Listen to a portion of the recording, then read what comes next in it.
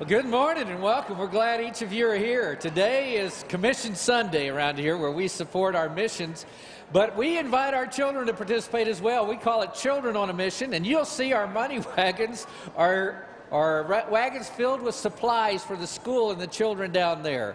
And so we appreciate our children's help and your help with that. So, church, let's sing our kids down as they come down front.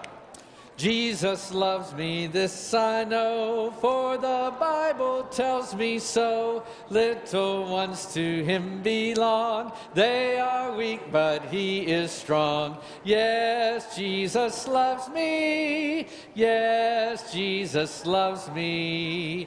Yes, Jesus loves me. The Bible tells me so. Jesus loves me when I'm good, and I do the things I should. Jesus loves me when I'm bad, but it makes him very sad. Yes, Jesus loves me. Yes, Jesus loves me. Yes, Jesus loves me. The Bible tells me so. Well, the Bible talks about how we're a light to the world. And one of the examples is a candle. And so we like to think about being a Christian light. So show me your Christian light. That's your finger up in the air, represents it. Let's, let's uh, sing our song. This little Christian light of mine, I'm going to let it shine. This little Christian light of mine, I'm going to let it shine. This little Christian light of mine, I'm gonna let it shine, let it shine all the time, let it shine.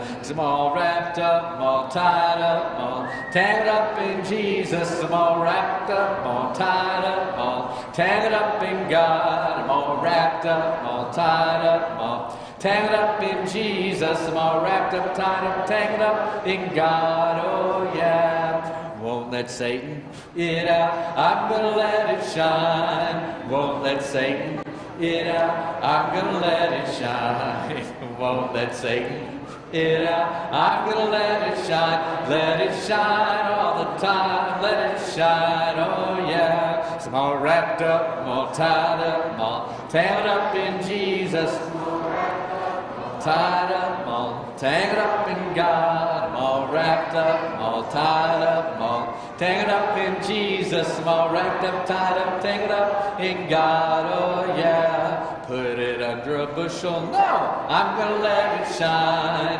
Put it under a bushel. No, I'm gonna let it shine. Put it under a bushel. No, I'm gonna let it shine. Let it shine all the time. Let it shine. Oh yeah. So I'm all wrapped up, all tied up, all tied up in Jesus. All wrapped up, all tied up, all tied up in God. All wrapped up, all tied up, all tied up in Jesus. All wrapped up, tied up, tied up in God. Oh yeah. My favorite verse, real high now. All around the neighborhood, I'm gonna let it shine. All around the neighborhood, I'm gonna let it shine. All around the neighborhood, I'm gonna let it shine. Let it shine all the time. Let it shine, oh yeah.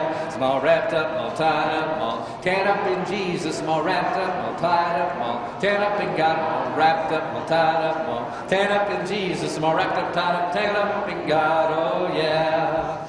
God does love us, and we want to make sure everyone knows. That's why we let our light shine. We let our light shine by being a good example to the people around us, but we also let our light shine by making sure other people have an opportunity to hear about Jesus, even if we can't be there.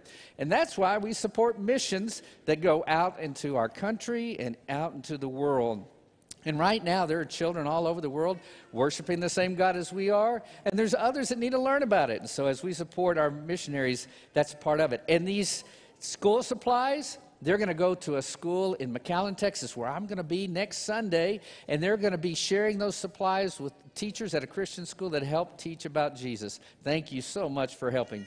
You make a difference in this world, and you make a difference in this church family. We're so glad you're here. That's why everybody's smiling so big at you. They're also going to wave at you, so wave back and give them a smile and wave up high at our college kids and our everybody in the balcony, our youth group. We are thrilled you're here. And you can go back and sit with your family and friends right now, and let's sing about how good God is. God is so good. God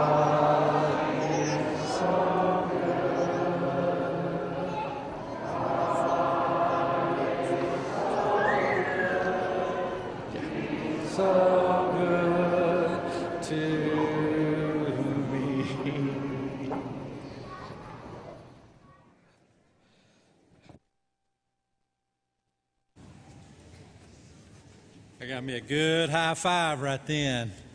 Well, it's so good to see everybody today. You know, there's an excitement in this building, and it's really, really, it's a, uh, it's a wonderful feeling. We are uh, on our first commission Sunday. We're going to have a prayer here in just a minute, and uh, I'd like to at this time ask the the elders to come down and those that are going on our McAllen mission trip to come down. It's been three years since we've been able to do this, but finally the world is starting to open up and the virus is starting to recede. Even just a few months ago, we weren't sure we were going to be able to make this happen, but God had plans for us. And we're looking forward and very excited about this group that's going down to McAllen. And this trip to McAllen happens because of you. Uh, it's because of the efforts and the generosity of this church that we're able to do works like this. This is uh, such a blessing in so many ways. Of course, our goal is to lift up the congregation, the church in McAllen. It's also to reach out to the community in McAllen. But we are very, very blessed, those that get an opportunity to go on this trip. And again, we are very excited that we have this. What a great group of people we have that are going to be participating in this. Would you bow with me, please, as we uh, ask God's blessing on this effort? Father, we come before you with praise thanking you, Father, for loving us so much that you would send our, your Son to save us, our Savior. Father, we are blessed in so many ways. And here we're very blessed uh, materially. We know we have an abundance, and it's uh, a great joy that we can give that in a way and use it in a way that uh, gives us opportunity to share your love with all the world. We're excited about the opportunity to go to McAllen, Texas, and we ask that you be with each person as we travel down there. We pray that you'll keep everyone safe uh, and while they're there and, and on the return, Father. We pray for the brothers and sisters in McAllen in that area that you will, this effort will lift them up, strengthen them, be a blessing to them and to their community. And Father, we know that for us it will be a blessing to us. It is such a great opportunity to go and to serve like this. And again, we ask that you watch over everyone. We thank you again for all that you do for us, but Father, we thank you mostly for your Son. It is because of him we are bound together by love that is unsurpassed. Help us to never forget that. Help each of us to keep that in mind as we go into the world this week. And help us to uh, be a blessing and look for opportunities to share this incredible love you have for us. Father, all these things we ask in your Son's name. Amen.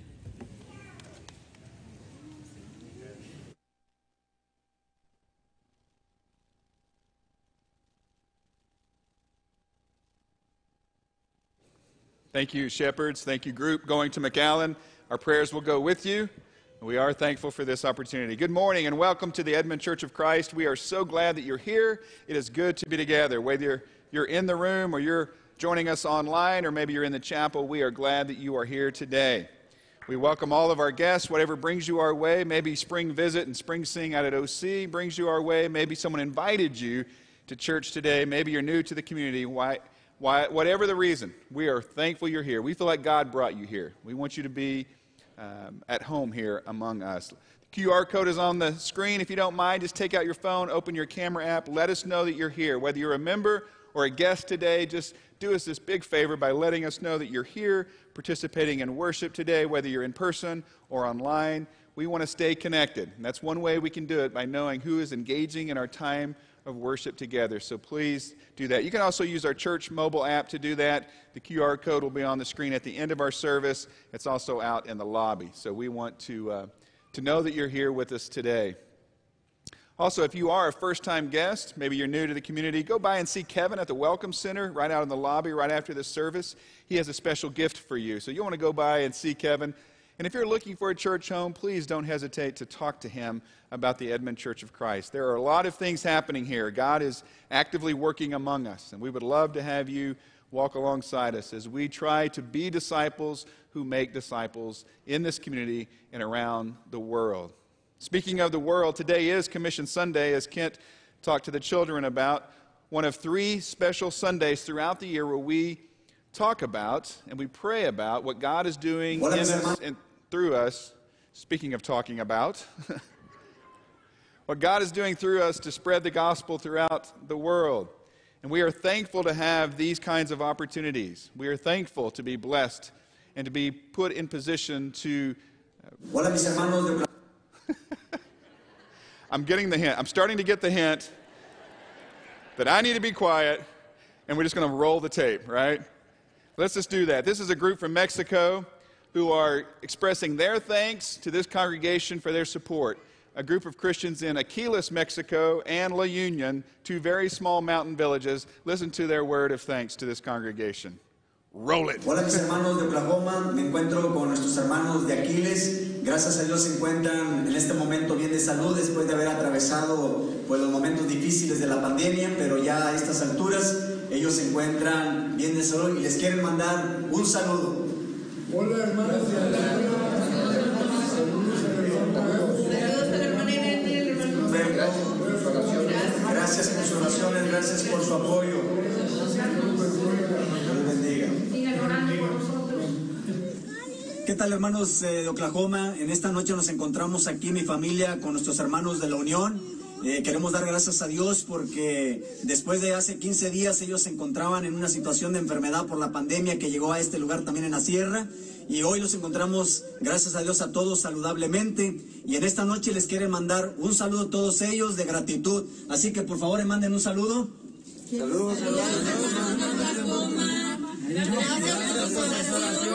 Gracias por su apoyo. Dios los bendiga. Dios les bendiga hermanos y gracias. Desde la sierra les mandamos saludos. I think they may have rehearsed that. I don't know. They, they did a good job. You know, so often we, we think about our missionaries and we see their names in the bulletin, we see their pictures on the screen, and we just think about names or faces. But these are real people in real places, and they are doing the work of spreading the gospel throughout the world. And I am so grateful that we get to be a part of that. Uh, God is using us to take the light of His love and of the gospel into the world. And so today on this Commission Sunday, we acknowledge that and we thank God for that. And we will give sacrificially to bless people just like that and to spread the gospel throughout the world. So I'm glad you're here today. It is good to be together. If you don't have a communion packet, you can get up and get one of those real quickly or just raise your hand, and these guys will try to see you right before we begin our time of worship and give you one of those uh, communion packets.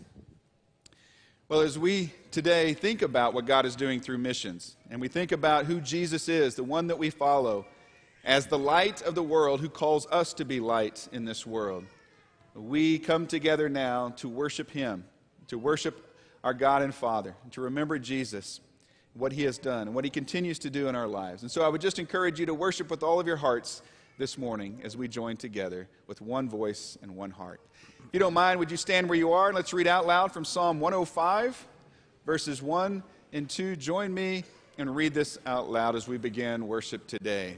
Give praise to the Lord, proclaim his name, make known among the nations what he has done. Sing to him, sing praise to him, tell of all his wonderful acts.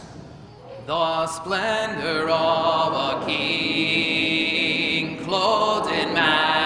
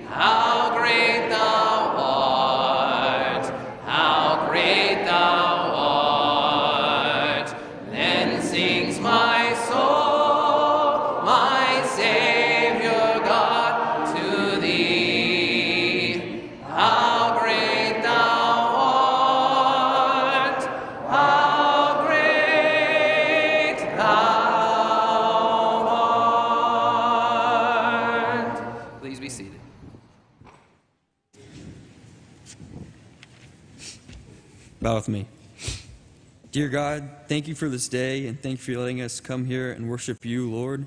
God, I want to pray for the McAllen mission trip and for all the missionaries that we have throughout the world, God. I hope they are blessing the communities they are with.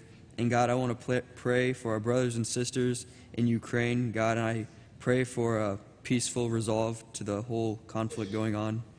And God, I want to pray for anyone right now feeling alone and hurt. God, I just pray that they feel your love and compassion and know that they're not alone. And God, I pray for this lesson and let us take it to heart. And God, let us put into actions in every day. God, let us be the light in this world. Amen. Come, thou fount of every blessing, tune my heart to sing thy grace. Streams of mercy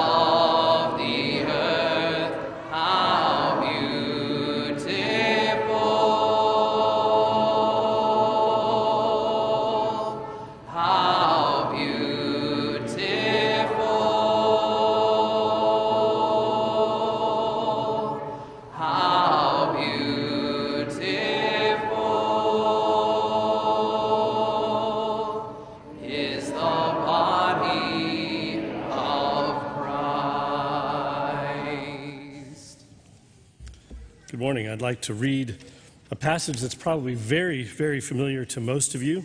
You've maybe heard it or read it hundreds, maybe even thousands of times, especially at a time of communion from 1 Corinthians. But I'd invite you to listen today like maybe it was the first time. That you're at the Corinthian church and somebody comes excited to read the letter from Paul. Now, if you know the Corinthian letter, they weren't excited for very long because Paul really gets on to them. But here in chapter 11, Paul says this. For I received from the Lord what I also handed on to you that the Lord Jesus, on the night when he was betrayed, took a loaf of bread, and when he had given thanks, he broke it and said, This is my body, it's broken for you. Do this in remembrance of me. In the same way, he took the cup also after supper, saying, This is the cup in the new covenant. This cup is the new covenant in my blood. Do this as often as you drink it in remembrance of me. For whenever you eat this bread and drink the cup, you proclaim the Lord's death until he comes. As our time together this, this morning is especially focused on our desire to be missional, I'd like to think about proclaiming the Lord's death until he comes. When we come together to take communion as one body, we proclaim to each other what we know is true.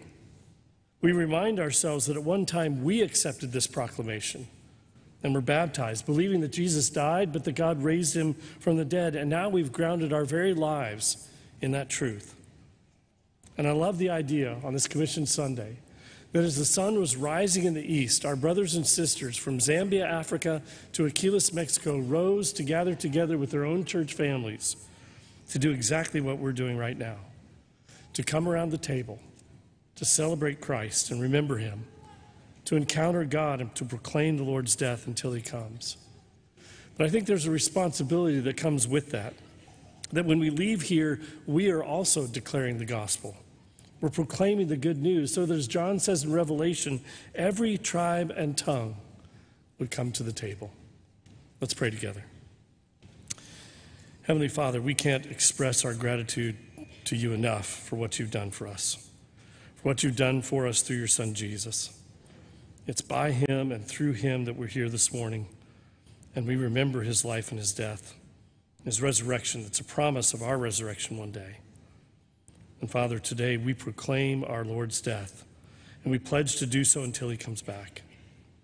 Father, we pray for your blessing on this bread as we eat it. In Jesus' name, amen.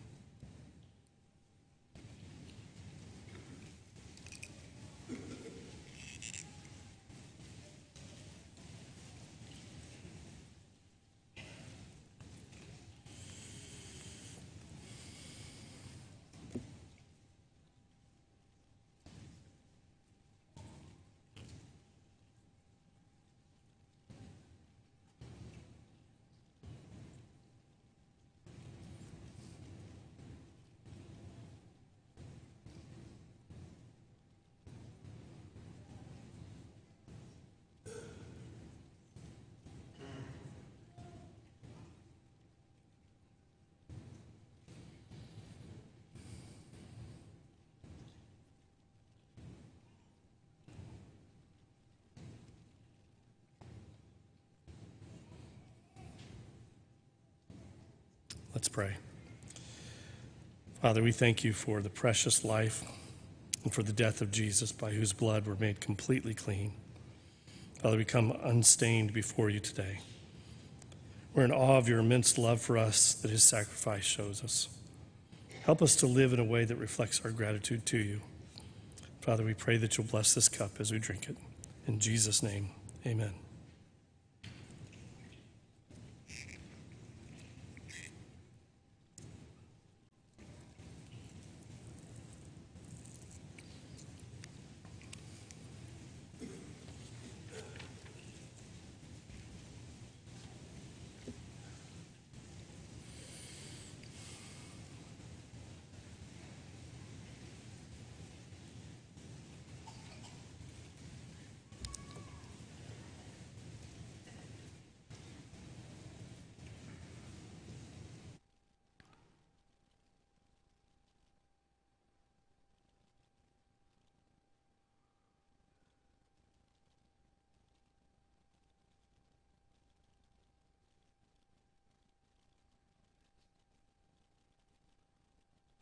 Lord, let your light, light of your face, shine on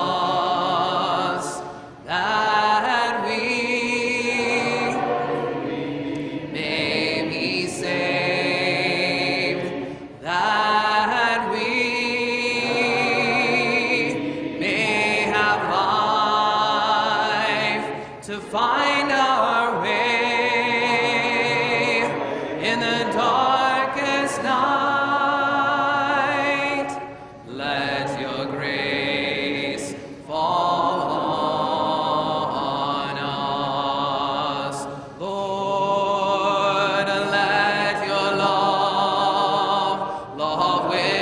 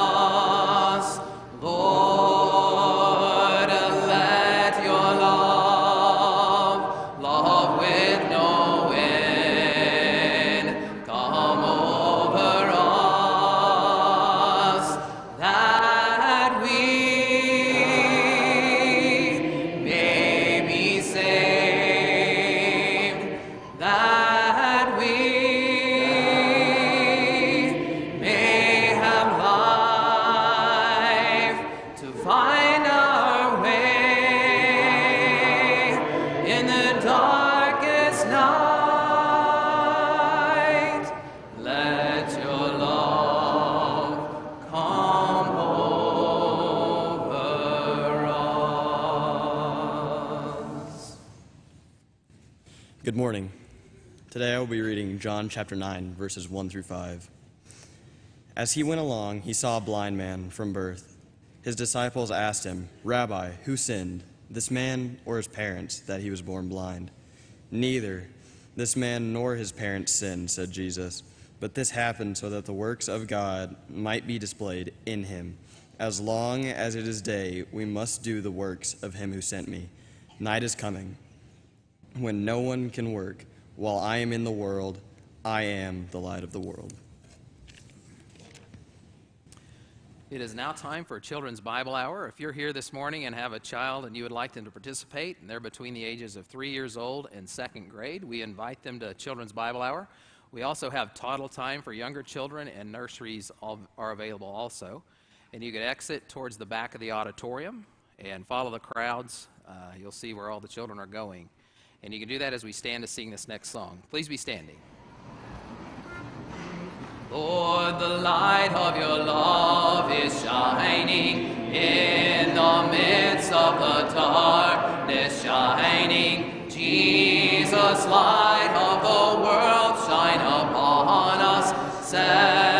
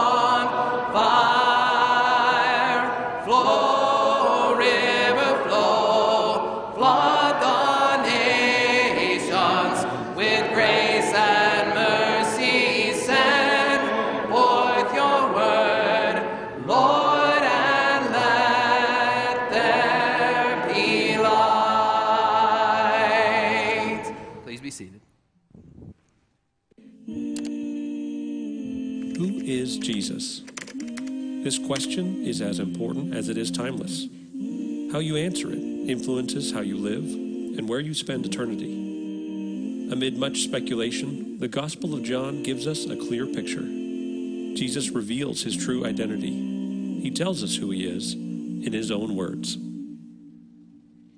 We are starting a new sermon series today called I Am in His Own Words. And as we do every time we start a sermon series, we have Discovery Bible Study bookmarks out in the lobby and on our church website.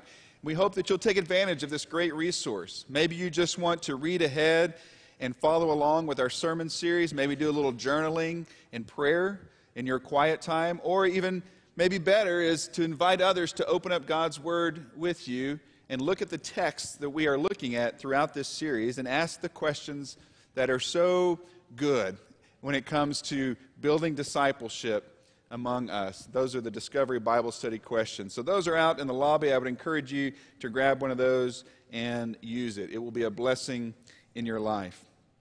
If you have a Bible, you might open it up to John chapter 7. We're going to be in chapter 7, 8, and 9. I'm not going to read all three chapters, don't worry, but we are going to be around that area. So, John chapter 7, chapter 8, and chapter 9. Who do people say that I am? That's the question that Jesus asked. It's recorded in Matthew chapter 16. He asked it to his disciples Who do people say that I am? And that is a dangerous question, isn't it? Because it invites speculation. And there's a chance there could be misinformation based on the responses to that question about Jesus' identity. And in Matthew 16, that is certainly the case as they try to answer Jesus' question about who he is.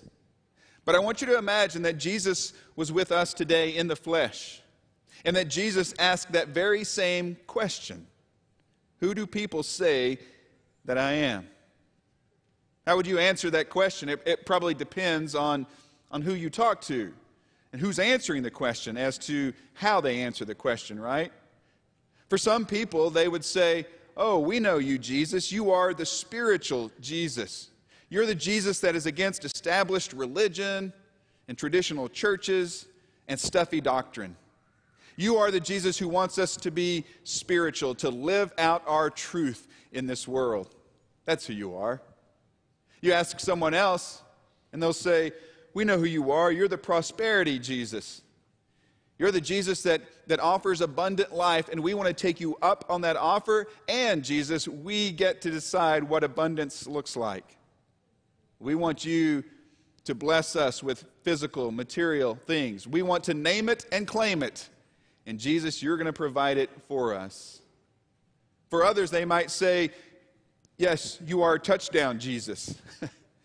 you make us run, you make athletes run faster and, and jump higher and score touchdowns, which is not too unlike the Philippians 4:13 out of context Jesus, the one who gives me strength to do anything, to climb any mountain, to ace any test, to get any job promotion, to do anything that I really set my mind to because you're going to give me strength to do that. For others, you are the political Jesus. You wave a flag. You think like me. You vote like me. And you tune in to the same news network that I watch. For others, you are the BFF Jesus. That's who I know who you are. BFF Jesus. You're my friend. You're my best friend. You sit at the coffee shop with me and we sip lattes and talk about life. And when I'm lonely and I need a friend, you put your arm around me and you're always there for me. Someone else says, I know who Jesus is. Judge Jesus. You go around turning over tables and putting sinners on blast. Others say, That's teacher Jesus. I know who he is. He teaches a lot of good things, a lot of good ethical things that we should probably listen to and other people should probably do. We could go on and on. Who do people say that Jesus is? You see, so often when we answer that question, we shape the identity of Jesus according to our needs and desires. We make Jesus out in our own image, according to what we want Jesus to be. Maybe there's a better way. Maybe we could just, just let Jesus speak for himself. Maybe we can just let Jesus tell us who he is, and we can submit to him.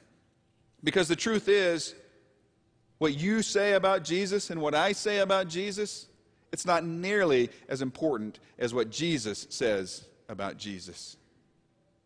So, in this sermon series, we're going to look at Jesus' I am statements. Jesus describing Jesus in his own words. And these are recorded in John's gospel. In fact, in John's gospel, 26 times Jesus uses those words, I am. And sometimes they are basically on their own. He is saying, I am. And that reveals to us his timeless authority, his connection to his Father, the great I am. But many times in the Gospel of John, when he uses those two words, I am, it is clumped around seven different images, seven descriptions of who Jesus is. We're going to look at those images throughout this series. Because every one of those images of Jesus reveals part of his nature part of his character. And that's important for us because it shapes our theology, how we view God, how we view Jesus, which then informs our discipleship, how we live that out in everyday life.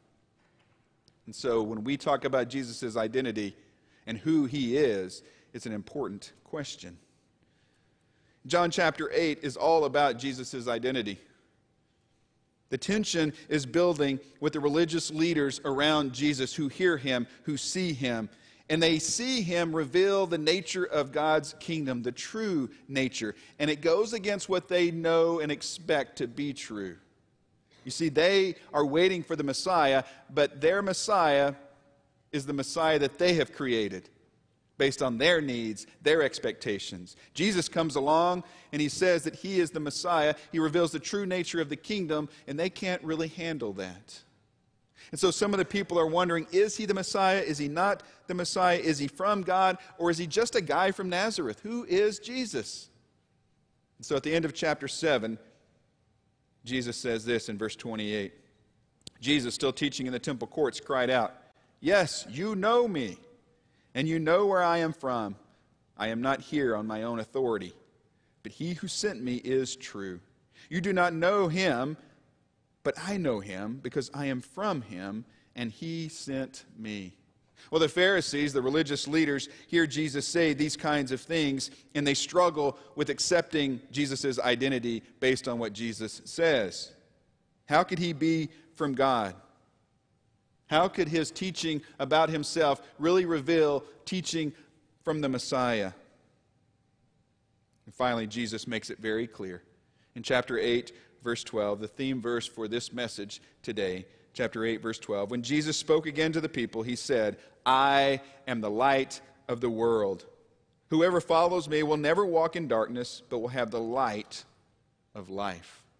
Jesus says, You want to know who I am? Let me tell you, I am the light of the world. That is a theme that we understand, don't we? Light and darkness, timeless symbols describing good and evil.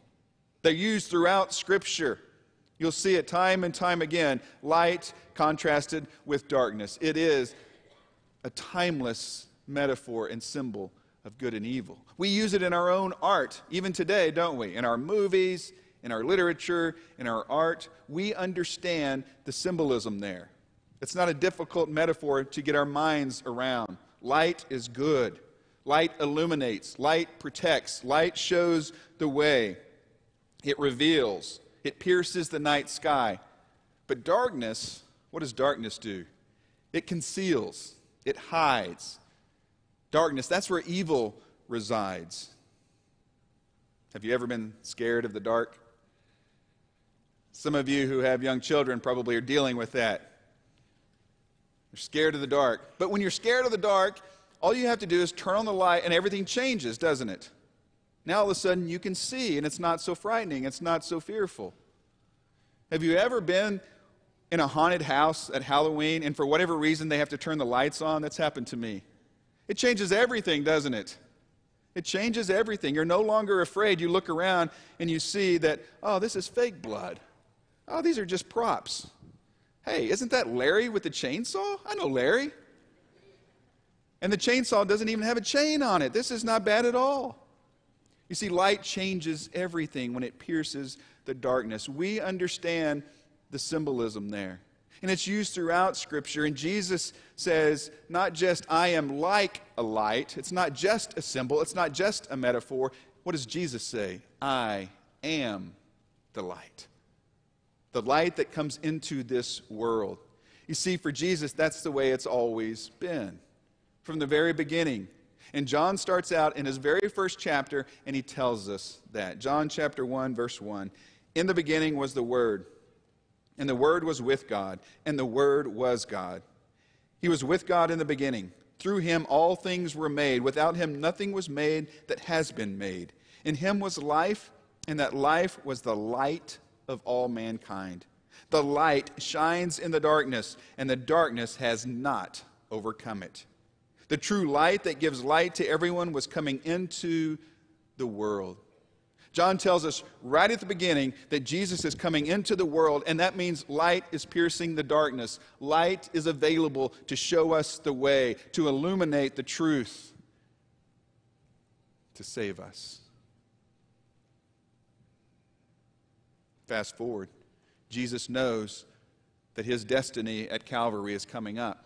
He's trying to prepare the people for what's going to happen, that he's got to go to the cross and die for the sins of humankind and bring salvation. And I want you to notice how he refers to this. In John chapter 12, verse 35, then Jesus told them, You are going to have the light just a little while longer.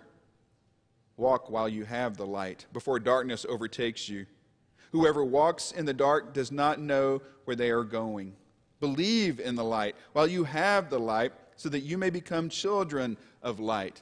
Jesus says, I am the light, and I'm only going to be with you in the flesh for a little bit longer. So now is the time to accept Jesus, to believe in Jesus. No, Jesus reveals his identity, and it's different from what your expectations are. But it's time to put your expectations and your desires and making Jesus into your image aside and receive Jesus and accept him for who he is the Messiah, the light that comes into this world. Why did God send Jesus into this world? Because our dark world desperately needs the light. Isn't that true? Do you look around you today and you think, man, this world is a dark place?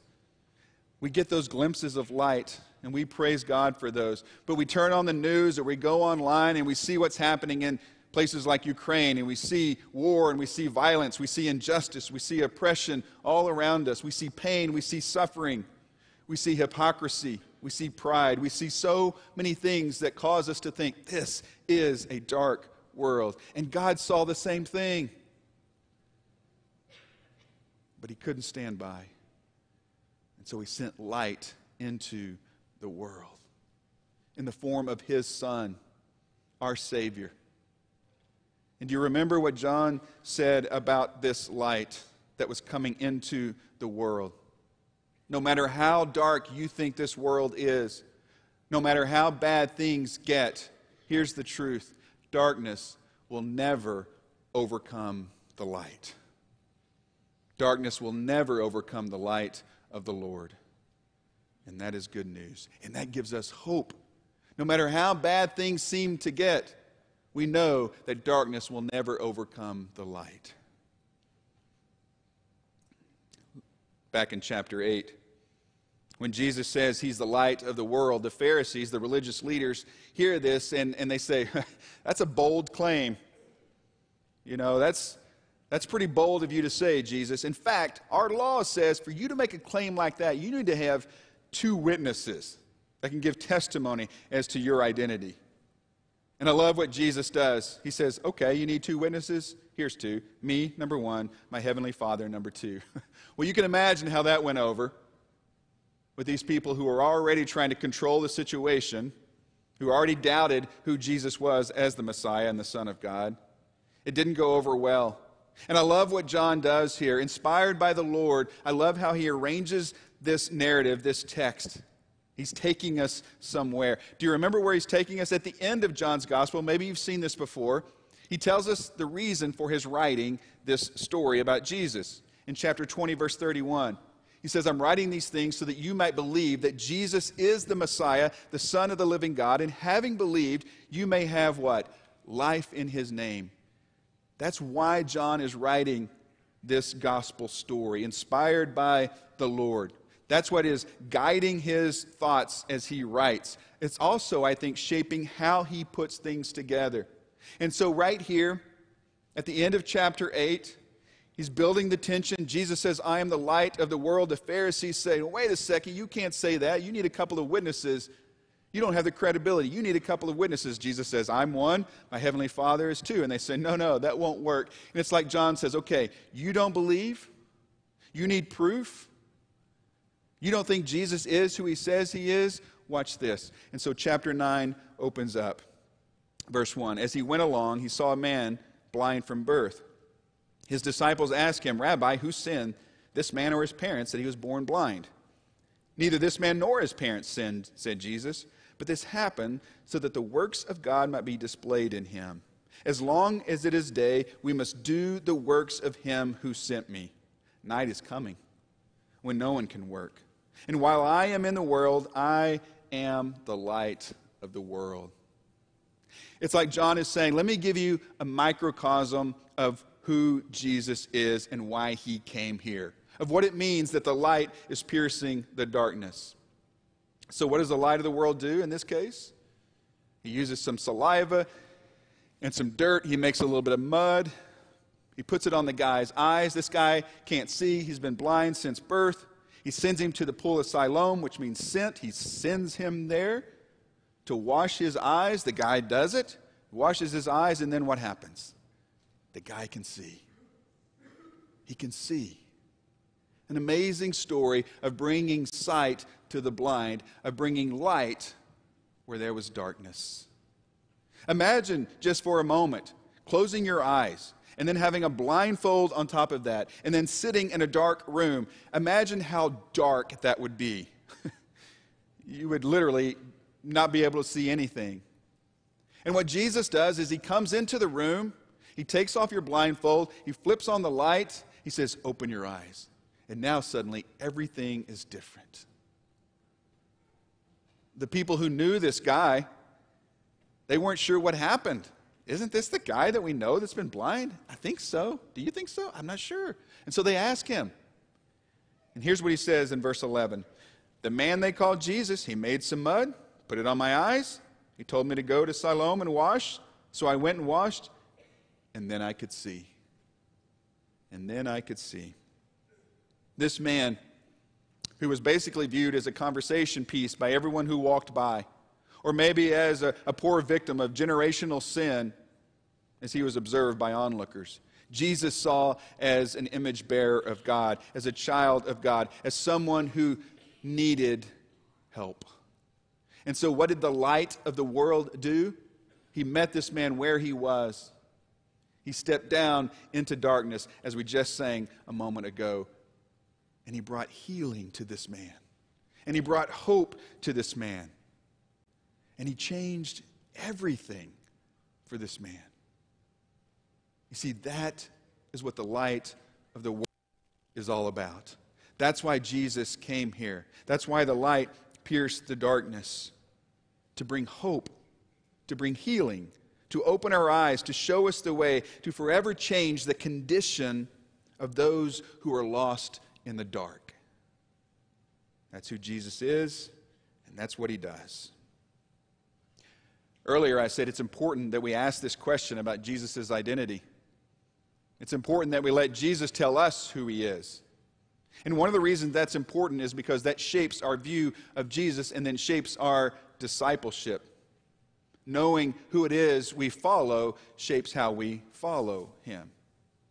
And in Romans 8:29 we are told that we are being conformed into the image of his son. So that means something for us. We are being conformed into the image of the light of the world. What does that mean? Jesus tells us in the Sermon on the Mount, Matthew 5, verse 14. Maybe you've heard this before. You are the light of the world. Now, wait a second. Jesus, I thought you said that about yourself. He did.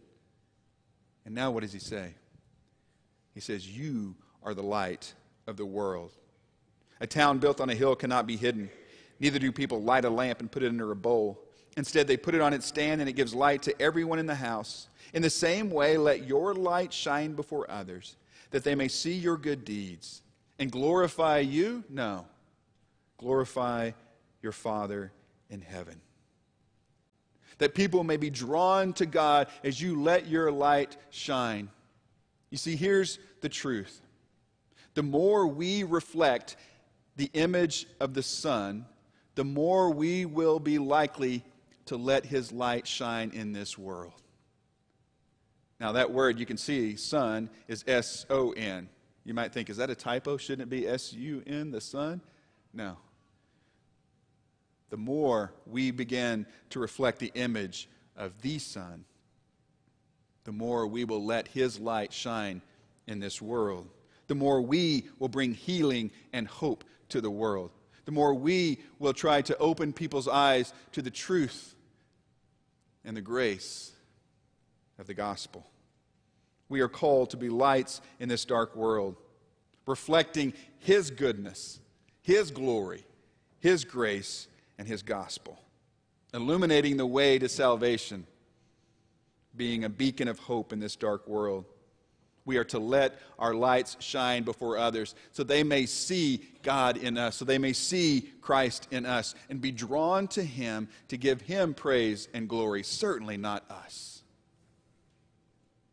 And that's what Commission Sunday is all about. That's why we take the time to acknowledge what God is doing through our mission efforts here. It's not us doing it, it's God doing it through us so that He receives the glory. We are trying to be lights in this dark world. And that's why we enlist and empower missionaries around the world They are extensions of us, they are ambassadors of the gospel. God is working through them to bring light into their communities, to bring hope, to bring spiritual healing that is so much needed. And just as we need them, they need us. And so, the first thing I'm going to ask you to do is to spend some time praying for our missionaries. Will you do that? Like I said before, sometimes our missionaries, it's just names on a piece of paper, it's pictures on a screen. These are real people with real needs and real challenges and real opportunities. In this week's bulletin, go back and look at it. Maybe you haven't had a chance to read it. I know many of you, as soon as it pops into your in- inbox, you read it word to word. I know, right? I know that's not true. But go back and look at it because in the bulletin, there is a list of all the prayer requests from our missionaries. We said, hey, what can we pray about for you? And many of them wrote us back. And they have very specific requests about themselves, their families, the communities they're working with, their church, all of these things. Maybe you, you print that out or you, you put that on the iPad and gather around the table or the couch or the TV or whatever and, and spend some time praying for our missionaries. You heard in the video at the beginning how much they appreciate our prayers and support. Surely we can find time to lift them up in prayer as they spread the gospel, as they shine the light of the Lord throughout this dark world. The second thing we're going to ask you to do is to give sacrificially. Let your resources reveal what's important to you. That's what we try to do as a congregation. Do you understand the amount, the percentage of our church financial plan that goes toward missions, mission projects, mission trips, supporting our missionaries. It is astonishing. And what that says is, and you know, we tell young couples, you know, when you're making financial plans, we tell young professionals when you're making financial plans, how you use your money how you use your time, how you use your energy, all of these things reveal what's important to you. They reveal your values. There's no way around that. That's just the, that's just the truth. As a congregation, we value mission work. And I hope you do. Because it is one of the ways that God is using us to be a city on a hill to be beams and beacons of hope and light in this world. Many of you have probably already given today, or maybe like me, you schedule it online. It's so convenient, you do that, and that's, that's great. But if you haven't given, or maybe you feel moved to give more, then I would encourage you to do that today before you leave. You can use that QR code on the screen. The text, the text way is really easy especially if you're already in the system. There's boxes out in the lobby. Find a way, give sacrificially so that we can continue to support missionaries and send trips like the one we prayed over today into the world. God is actively working among these people and these groups in these places to shine his light into this dark world. In many ways, your prayers and your sacrificial gifts, they are like fuel keeping the lights on all around the world. So I'd encourage you to do that.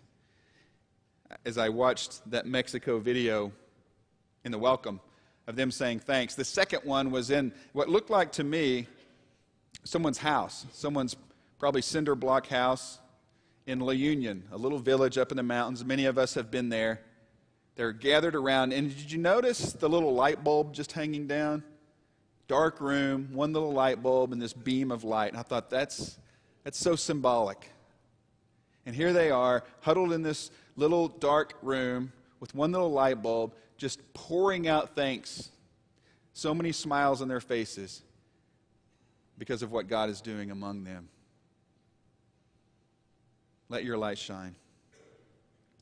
We want to pause and remember that it's God who's doing this. And so we want to pray a prayer of thanksgiving and blessing over our offering and over the people who are shining the light of the Lord. Let's, let's join together in prayer. Father God, we thank you for this day. We thank you for this opportunity. God, we thank you for the gospel, the story of Jesus. That's not just a story, it's real.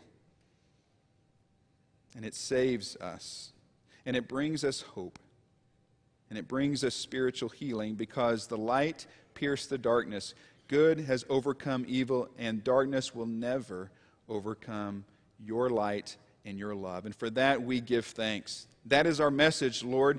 Put that message in our hearts and on our lips as we leave this place, as we go into the world, as we support missionaries, as they do their work.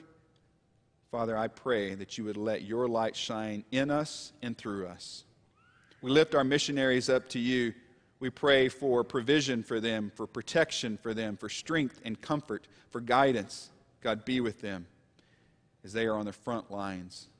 Father, we pray for every penny, every dollar given today and this week for Commission Sunday, that you would be honored and receive glory for what is done with those funds, that they would be used to support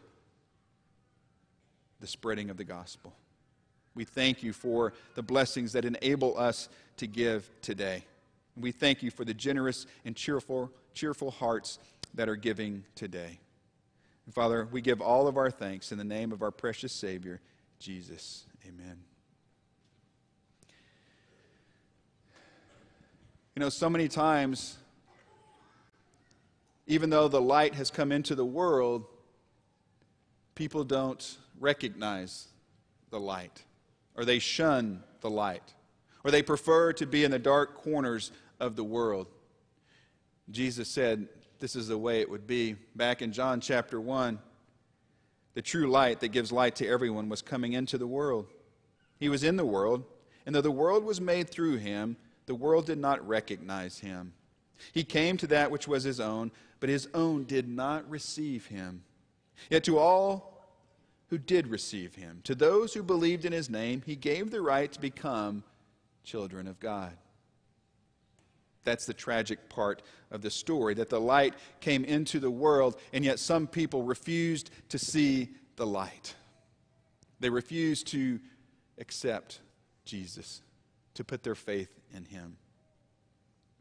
I wonder, as I think about our role, as I think about my role, can the world see the light in us?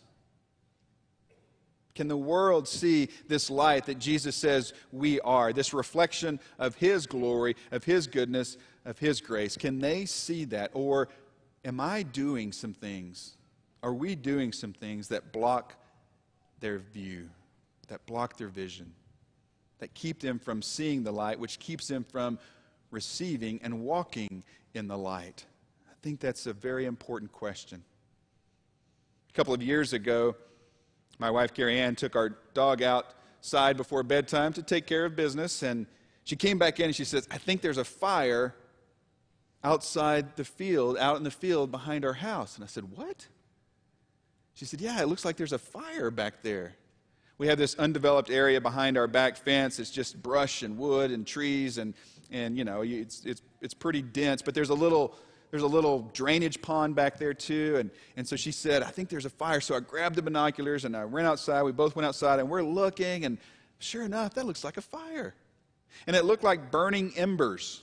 The trees were kind of swaying a little bit, but as you saw through the trees, it looked like burning embers. You know, at the bottom of a campfire, and they just kind of glow and almost move we couldn't see flames, and so that was kind of weird. Maybe it was a, a grass fire that was spreading, and that sounded dangerous. Or maybe someone, I guess, had gone out there and had a campfire. We didn't know. We couldn't really see, we couldn't really tell, so we had to get to the bottom of this. We didn't want to go traipsing through the jungle out there, and so 10:30 at night, we load up in the car. We drive out of our neighborhood, way around to the other side of the undeveloped area, get on a dirt road, drive as far as we can drive on the dirt road, and we come to a part where we get out of the car and we start looking around. We didn't see fire, but it dawned on us what it was. There was a huge orange glowing street light. And that light was shining perfectly onto that little drainage pond. And that orange light was reflecting from that pond to the back of our house, and that's what we were seeing. And what looked like burning embers was the wind blowing that pond, making it ripple a little bit, changing the refraction of the light. We thought this through. I mean, we had to find out. And so there wasn't a fire. The mystery was solved. And we went back and went to bed and felt much better about our house not burning down, at least that night. You know, so often in life, there are things that block our view of the light. We get a glimpse here and there, but we're not sure if that's it. And how tragic it would be if we, the called out people of God, the ones who are to be the light, how tragic it would be if we are doing things that block people's vision of the light of the Lord. If somehow we are getting in the way of people seeing and receiving the light, how tragic that would be. Can the world see the light in us? We must continue to shine the light of the Lord. It is our calling, it is our privilege, it is a blessing and an opportunity that God has given us each and every day. And we do that, yes, through missionaries and mission trips, but we must do that right here, right now, in our homes, in our neighborhoods, in this community. We must let our light shine. This morning, if you have not seen the light, it's time to open your eyes. Let Jesus open your eyes. Let the light pierce the darkness and realize who Jesus is.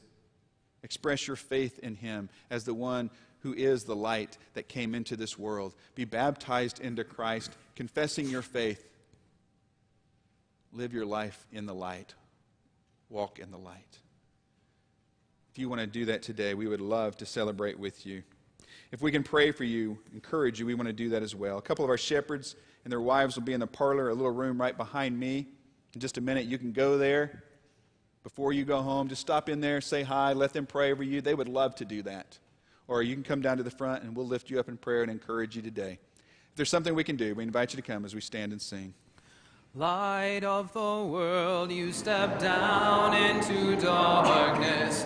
Open my eyes, let me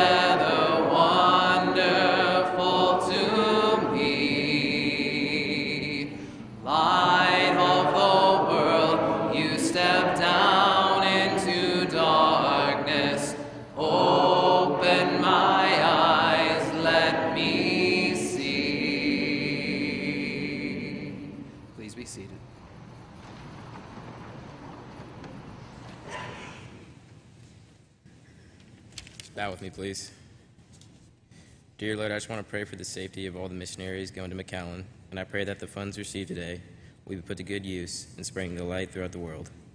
I also pray that if this is your first time at Edmond Church of Christ, that you find a home in this amazing church and community. Amen.